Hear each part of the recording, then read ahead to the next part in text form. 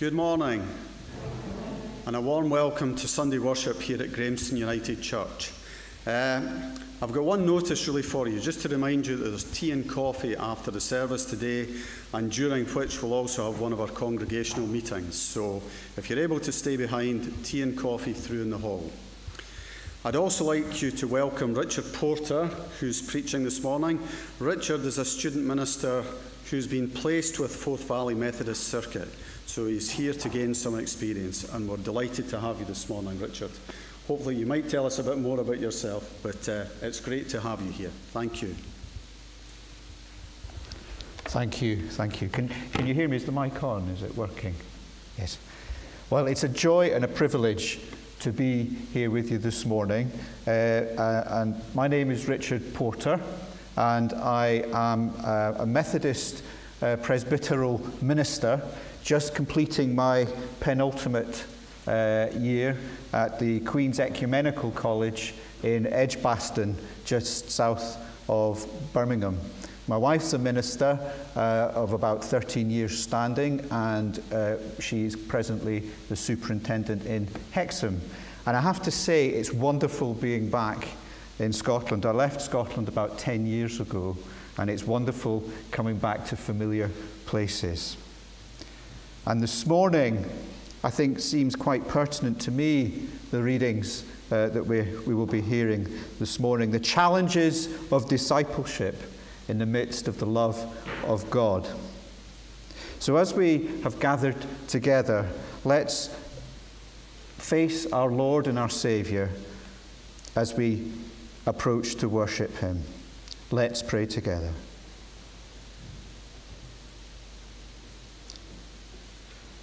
Heavenly Father and sustainer of all things, we thank you for the opportunity to gather today in this place of worship. We thank you for our brothers and sisters in Christ here and elsewhere throughout the land.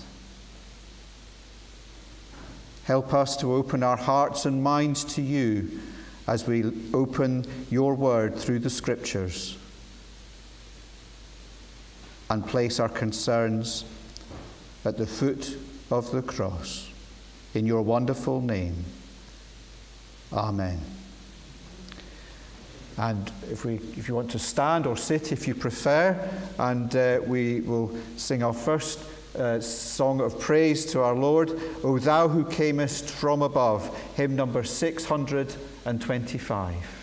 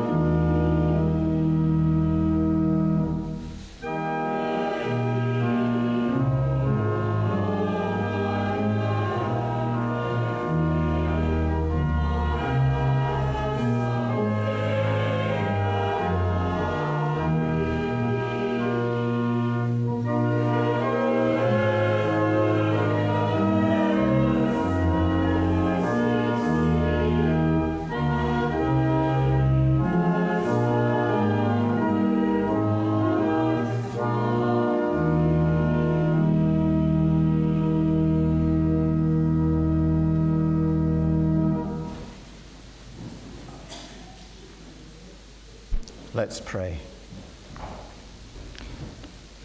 Heavenly Father, help us to discern what you would have us do in your life. What we have to do, what sacrifices we have to make, what challenges we must face as disciples in your wonderful creation. And Lord, we give thanks for this wonderful place of worship and for our friends and family and all those who help us to flourish throughout the week and throughout our lives. And we thank you, Lord, for your word, for the opportunity to grow closer to you, that we may flourish as individuals, and that we may help our communities to flourish as a result. And Lord, we bring to you the things that we have said that perhaps we should not have said, the things that we have done that we should not have done, the hurt that we have caused intentionally or unintentionally. Lord, help us to grow into good disciples, better disciples. That people we encounter during our week will experience something of the love of Christ, something of your wisdom, offering them hope in the light of your love, in the hope and the sure knowledge of eternal life in your presence. And as we're gathered here today, we remember the words that our Lord and Saviour taught us as we pray Our Father, who art in heaven, hallowed be thy name. Thy kingdom come, thy will be done, on earth as it is in heaven. Give us this day our daily bread, and forgive us our trespasses, as we forgive those who trespass against us and lead us not into temptation, but deliver us from evil.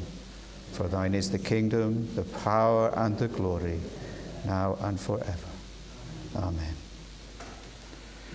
We're now going to open up the scripture, and I'd like to thank our readers this morning. I'm not sure who they are. Um, oh, hello. thank you. Um, we're going to hear first reading, and then a hymn, and then a second reading. Thank you. First reading is taken from 2 Kings chapter 2, reading from verses 1 to 2, then 2 Kings chapter 2, verses 6 to 14. Elijah taken up to heaven. When the Lord was about to take Elijah up to heaven in a whirlwind, Elijah and Elisha were on the way from Gilgal. Elijah said to Elisha, Stay here. The Lord sent me to Bethel. But Elisha said, As surely as the Lord lives, and as you live, I will not leave you. So they went down to Bethel. Then reading from verse 6. Then Elijah said to him, Stay here. The Lord has sent me to the Jordan. And he replied, As surely as the Lord lives, and as you live, I will not leave you. So the two of them walked on. Fifty men from the company of the prophets went and stood at a distance, facing the place where Elijah and Elisha had stopped at the Jordan. Elijah took his cloak, rolled it up, and struck the water with it. The water divided to the right and to the left, and the two of them crossed over on dry ground. When they had crossed, Elijah said to Elisha, Tell me, what can I do for you before I am taken from you? Let me inherit a double portion of your spirit, Elisha replied. You have asked a difficult thing, Elijah said. Yet, if you see me when I am taken from you, it will be yours. Otherwise, it will not. As they were walking along and talking together, suddenly a chariot of fire and horses of fire appeared and separated the two of them. And Elijah went up to heaven in a whirlwind. Elisha saw this and cried out, My father, my father! The chariots and horsemen of Israel. And Elisha saw him no more. Then he took hold of his garment and tore it in two. Elisha then picked up Elijah's coat that had fallen from him and went back and stood on the bank of the Jordan. He took the cloak that had fallen from Elijah and struck the water with it. Where now is the Lord, the God of Elijah? he asked. When he struck the water, it divided to the right and to the left, and he crossed over. We'll continue worship. The next hymn, 533 from CH4, will you come and follow me?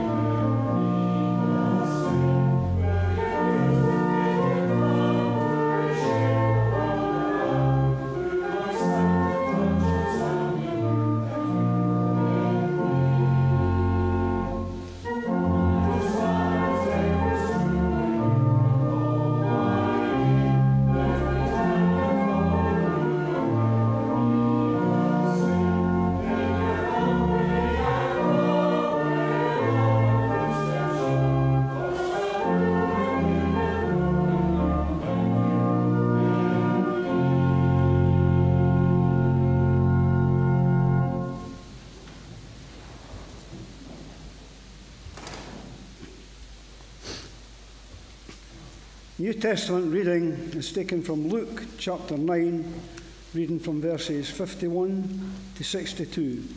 Samaritan rejects Jesus.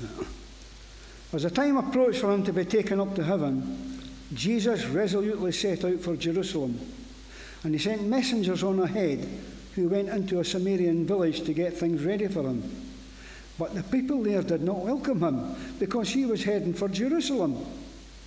When the disciples James and John saw this, they asked, Lord, do you want us to call fire down from heaven and destroy them all?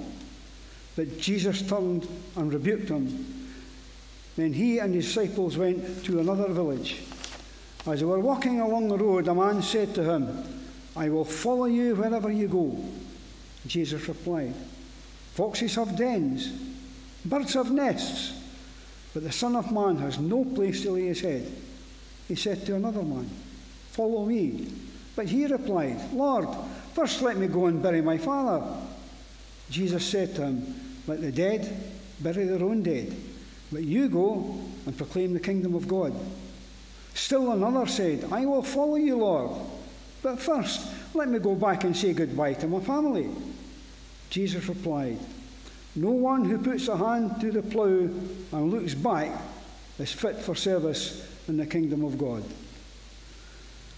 Next hymn, 512, a chance to air your lungs after the COVID. To God be the glory, great things have been done.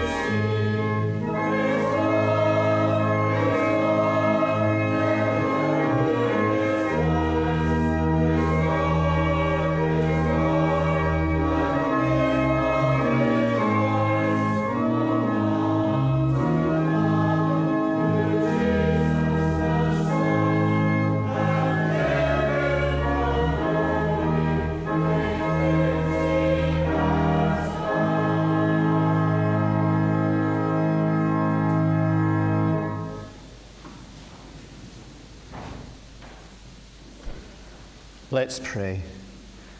Heavenly Father, may the words of my mouth and the meditations of all our hearts be acceptable in your sight, O God, our strength and our Redeemer.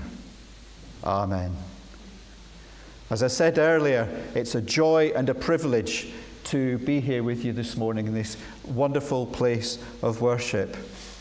Opening scripture together and exploring the challenges of discipleship a very relevant topic for our times, I think. And we were looking at the way that the three men in the Luke story were challenged, and at the way that Elisha responded to Elijah, who is blessed by God. Elisha is anxious to receive God's blessing in his life. But before we delve deeper into the Old Testament story of their lives in the context of discipleship, Let's have a look at the Luke reading we heard and the challenges facing those would be followers who spoke with Jesus. The three who separately encounter Jesus are at a pivotal moment in their lives. Each has the opportunity to step into a deeper relationship with Christ, to flourish through his direct teachings of the love of God and all the promises that would follow. And it's at precisely that moment they are made aware of the cost of doing so. The first and third encounters involve the person approaching Jesus before being addressed by him. The first is warned that there is no safety of home or hearth. The third also approaches Jesus. I will follow you, Lord, but let me say goodbye to my family. And I've always viewed Jesus' response as being very harsh. If we look back, we're not fit for service in the kingdom of God. And the second encounter differs from the other two in that the man is approached by Jesus, who invites the man to follow him. But the man wants to press the pause button while he goes back to bury his father. And Jesus responds, Let the dead bury their own dead, but you go and proclaim the kingdom of God. Encounters with the living Christ invite controversy, challenge, and sacrifice on a large scale. What's going on in this encounter? How can those encounters in Luke be relevant to our context today as we stagger out of a global pandemic? At a time when, across the vast majority of Christian denominations around the world, we see reduced church attendances, reduced memberships, new encounters with the living Christ various Christian denominations considering enter into partnership with others. And indeed, I had the joy and the privilege of being invited to my first Kirk session here last week, where issues of denominations working together were discussed. The former lawyer in me delighted in the challenges of written constitutional shuffling to accommodate the institutional regulations for all. But the true joy and excitement for me in all of that was that I could feel God's presence, God's love in the conversations, as scary as such conversations might be to people at times. But I am digressing slightly. Going back to the question, how are those challenging encounters in Luke relevant to our context today? The cost of discipleship seems unrealistically high and even perhaps unfair when we consider Christ's response to the three men. Don't follow Christ if you like living in a house with a bed in it. Don't follow Christ if you want to bury your family members. Don't follow Christ if you want to pop back home to say goodbye. The responses seem overly onerous and painful, running counter to the God of love and grace, certainly the God of love and grace that I know, the one for whom we gather our communities together so we can sing our praises and worship Him.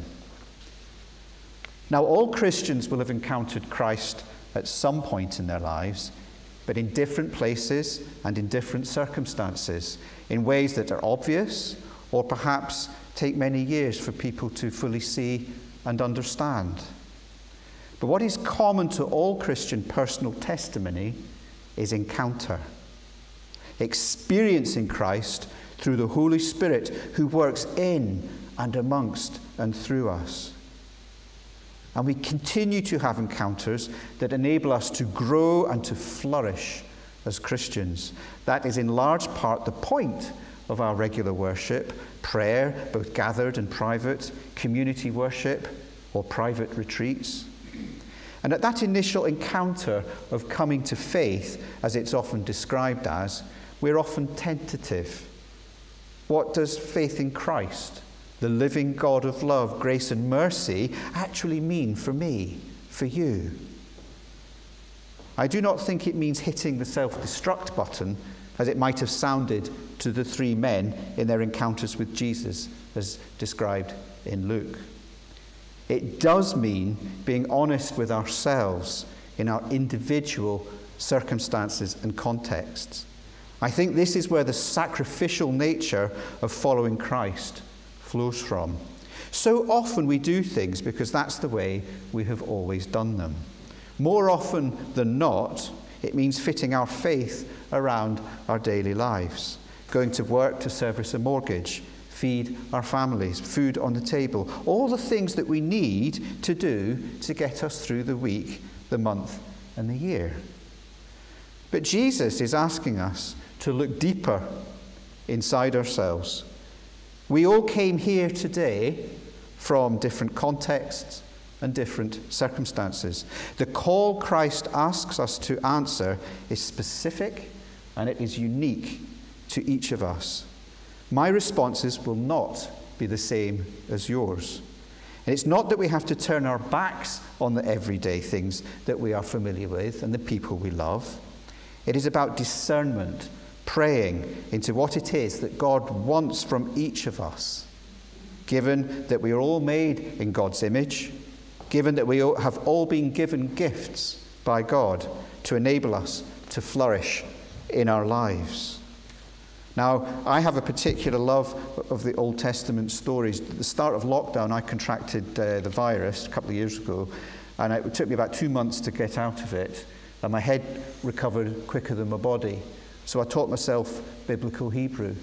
And I've been going through the Old Testament and I've been, I've been seeing them in a slightly different light. There's something gritty and there's something clear. And in the Hebrew language, there's something quite repetitive about the themes that we read about in the stories. Reading something of the lives of Elijah and Elisha helped me to make sense of my own life of faith with the living God. For example, in 1 Kings 19, verses 19 to 21, we're told about the call of Elisha Elijah finds him plowing in a field, and Elijah walks up to him and throws his cloak around Elisha's shoulders. Elisha then leaves his oxen and he runs after Elijah. But then, when Elisha says to Elijah, Let me kiss my mother and father goodbye, and I will come with you, Elijah scolds him. But Elisha responds by killing his cattle and burning the plow and cooking the meat to eat. He is very zealous, is Elisha. And in today's 2 Kings reading, we see more of his loyalty towards the prophet Elijah as he stays by his side wherever he goes Gilgal to Bethel, Bethel to Jericho, Jericho to the river Jordan. There is a zeal in him. He knows what he needs to do. His zeal for the Lord, as he has been following God's servant and learned from him, reveals that his calling was indeed to follow in Elijah's footsteps. And then, he, of course, he sees Elijah ascending to heaven. What does Elisha do? He rips his own cloak in two. He picks up Elijah's cloak, touches the surface of the water in the river Jordan, and the waters part to the right and to the left. And the point of this is that the sacrifice of following Jesus causes pain when we do not discern correctly the call of God on our lives. Can you imagine what Elisha would have been feeling like if he'd stayed with his plough? We may rightly call ourselves Christians, experiencing Christ through the Holy Spirit, but our response is critical if we are to flourish fully, fully in our lives, and thus enable others to flourish, to enable others to experience the love of Christ. Now, the Methodist Church, as you may know, encourages sharing personal testimony to enable us to see the direction we are heading in with God. It can offer encouragement to others, and it can serve to help us to correct ourselves when we're perhaps steering in the wrong direction. And I recall my first encounter with Christ.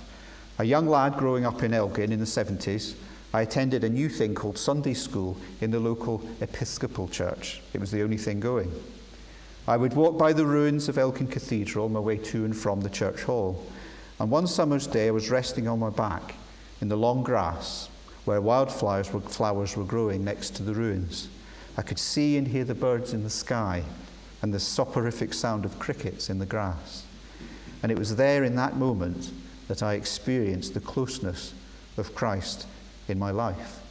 I felt timeless after that delighting in early relationship with Jesus, reveling in the long walks along the Morayshire beaches, learning to fish from the harbour walls, chattering away with him by my side.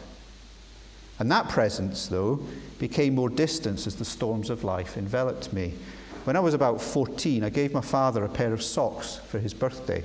It was mid November, he had to go away that night, and I walked into his car. I can remember it, a rusty old red Saab. I don't know if you remember the old Saab. I can still see the pair of socks strewn on the back shelf of the, of the car, surrounded by crumpled birthday paper. I never knew if he actually liked the socks. The next day, I was called into the head teacher's office to be told that my father had died of a massive heart attack in the middle of the night. And my challenges grew as I found myself living in a bedsit in Edinburgh in the years prior to starting studies at Edinburgh University. My sense of Christ's presence faded dramatically. And then one day, I made my way to a park bench at Inverleith Park in Edinburgh. It was a real pea soup of a day. You couldn't see the hand in front of you. I just sat on the bench, and the floodgates opened wide. The storms of life were pressing so down, so hard down on me, I did not know which way to turn. And through my anguish, the outline of a tall man cut through the dense fog, and he stood in front of me. And he took off his long, thick naval duffel coat and he wrapped it around my shoulders, and I felt an immediate, comfortable warmth surge through my body. And he said, You need this more than I need it. And then he turned around as I sat before him, and he stepped into the mist, which swallowed him up. I never saw him again. I feel blessed to have experienced moments of encounter with God the summer meadow, the beach, the fishing, the kindness of a stranger.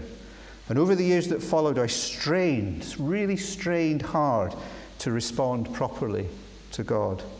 I engaged with lots of charity work outside my professional working life. And it was only when I was asked about my sense of calling that I began to step back to the place of godly encounter I experienced in the ruins of Elgin Cathedral and on the Morayshire beaches.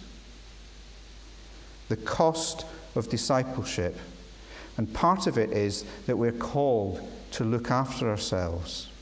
We're called to work out where we are closest to God. How can we look after others if we're not healthy within ourselves? We should always be on the lookout for that thin place, that place of encounter with the risen Christ for our nourishment, to guide us on the next phase of life's journey.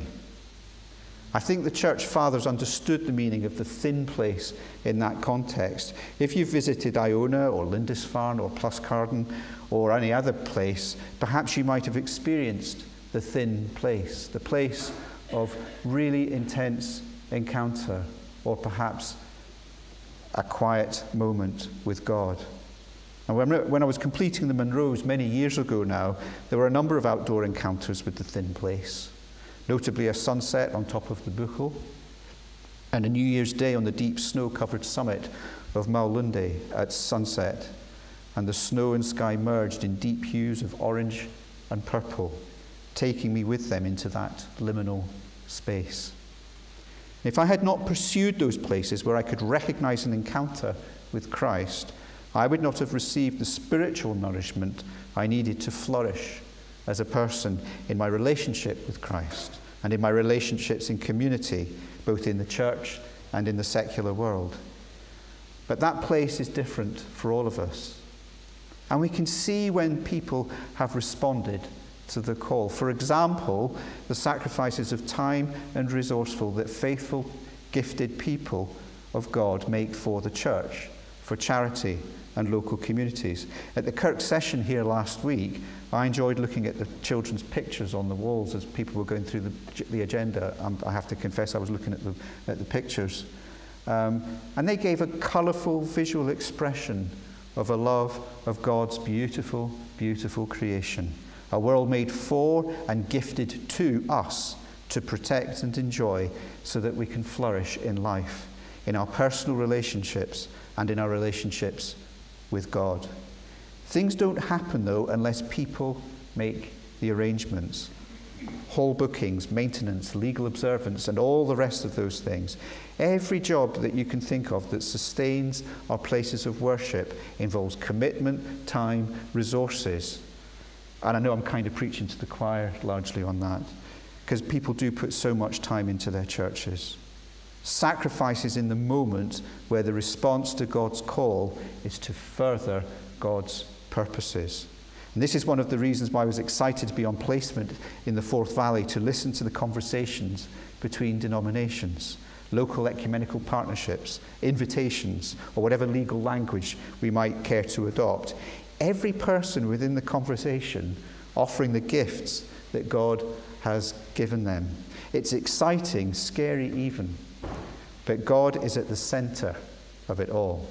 And the pain of sacrifice truly occurs when we do not listen to what God has equipped us with as individuals and we push God to the side. For me, it's taken more than half a lifetime going from lawyer to tutor to primary school teacher, all of which led me to a life which immerses me fully uh, into God. In all those roles, in all those other journeys of my life, I think I was much like Elijah, fleeing from God's call. I think a few weeks ago or last week we had that story of him running, running away from Jezebel's army. And it was painful. I can relate to Elijah more readily than I can relate to Elisha, as Elisha seems so resolute on his path from the get go. But we are all different, and that's good. Our faith journeys are utterly different from each other. If we feel we're not in the right place with God in our lives, think of Elisha following Elijah from place to place. It's noteworthy that only Elisha saw Elijah ascending into heaven, not the 50 who were watching from a distance, those from the company of prophets. They offer to go and look for Elijah in the wilderness because they haven't seen him ascending in the, in the, in the, in the uh, storm. Their faith journeys were different to Elisha's. Their callings will have been unique to them, just as your callings and God given gifts are unique to you. But their gifts were not as Elisha's.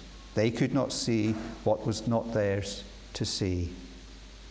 when we get our alignment with God wrong, the responses Jesus gives to the three men in the Luke story sound hard and unloving, but they are really not.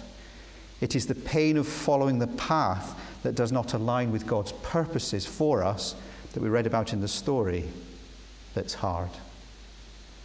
I will finish with Elisha. After he sees the chariots of fire and Elijah ascending to heaven in the whirlwind, Elisha rips his own cloak in two. He picks up Elijah's cloak and he uses it to touch the water. And the river Jordan parts to the left and it parts to the right.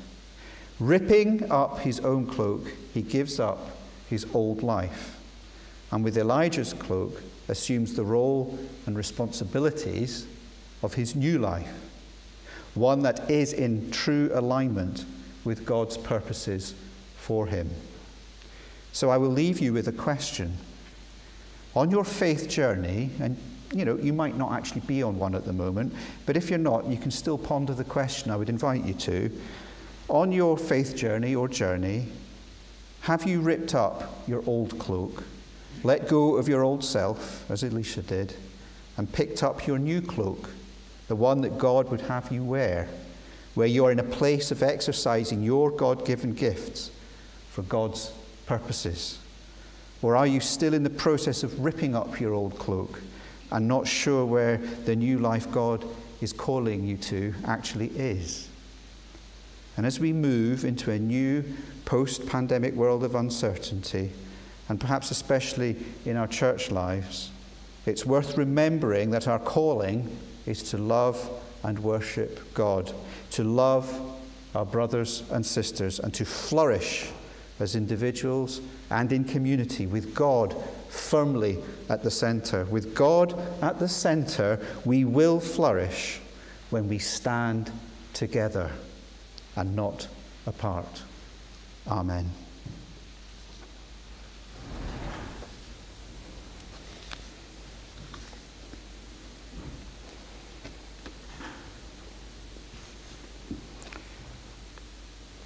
If we'd like to stand or sit if you prefer, and we'll sing hymn number 502, 502, Take My Life, Lord, let it be.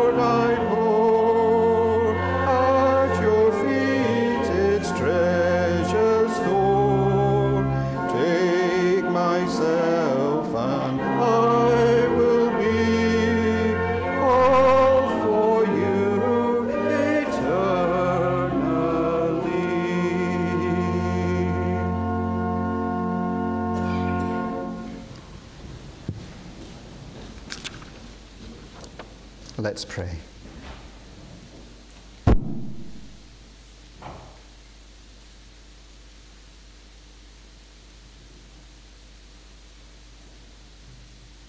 Heavenly Father, we thank you for your church, and we pray for church leaders throughout the land.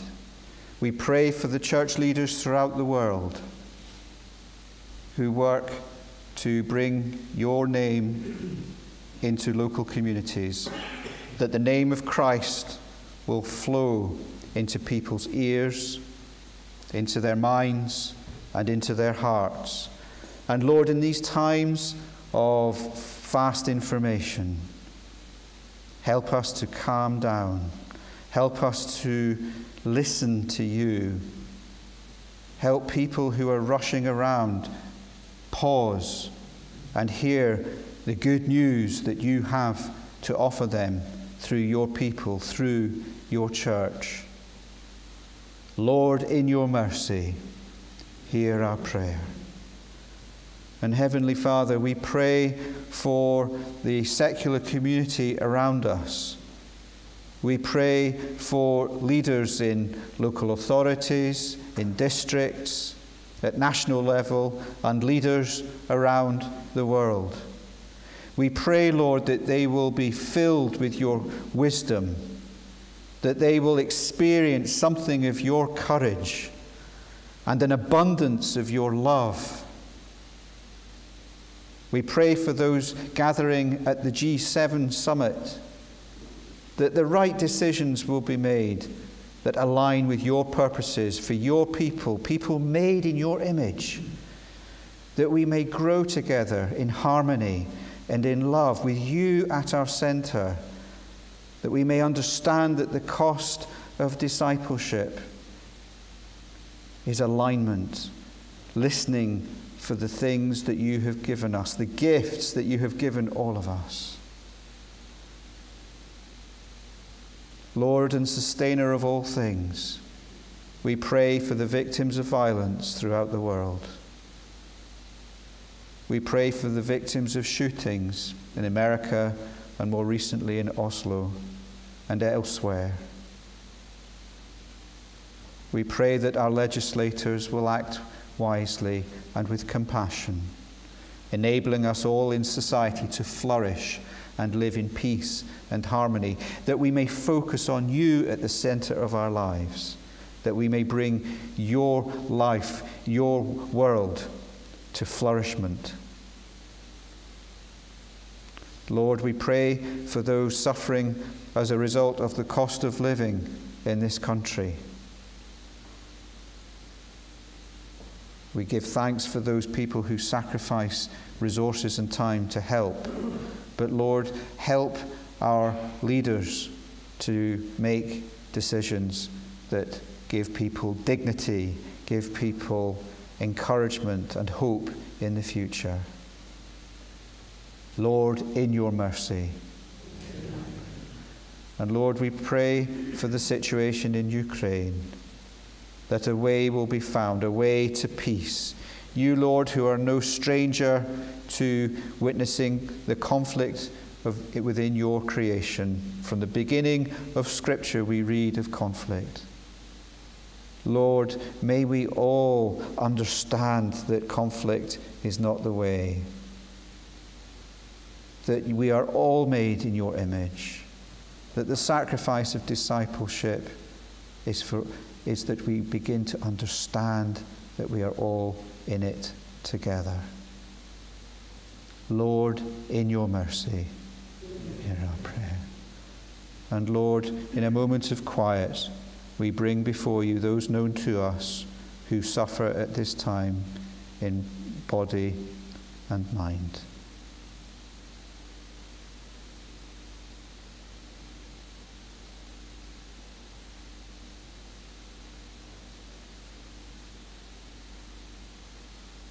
God of love, be with them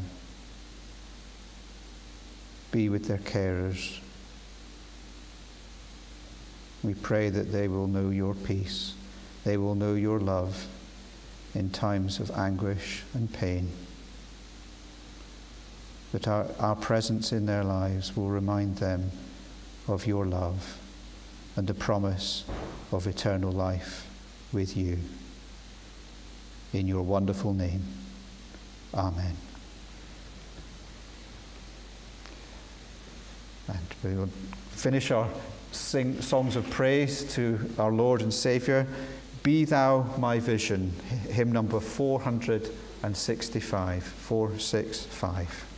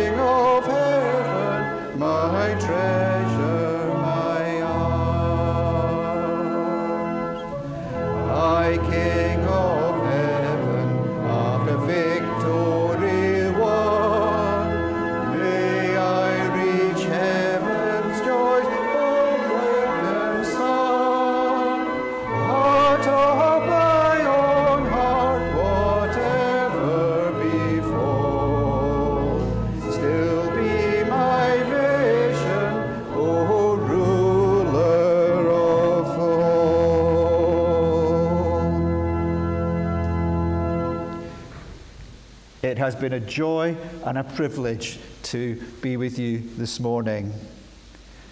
Brothers and sisters in Christ, encouragement, togetherness, partnership in this wonderful, wonderful country. May the light of Christ shine on your path this week. May the Holy Spirit dwell within you and guide your mind and your hearts in your encounters with others. And may you flourish in your continuing discipleship with our Lord and Saviour. Amen.